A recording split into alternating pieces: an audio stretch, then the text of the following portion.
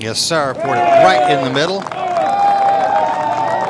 There we go. Came with the left. Esteban Toledo. Three extra holes here in Boca Raton to secure the Allianz Championship.